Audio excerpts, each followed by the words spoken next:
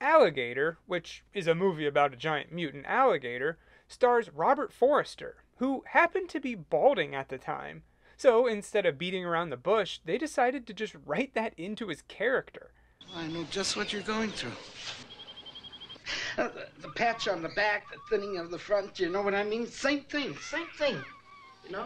Yeah. Who cut your hair, Madison? I do. Mostly. Why? I want to see a hairstylist. You let your hair grow down and whip across. Nobody will be able to see it. What are you doing? Look, I'm fighting male pattern baldness. I'm a little sensitive on the subject, and I hope you don't mention it again.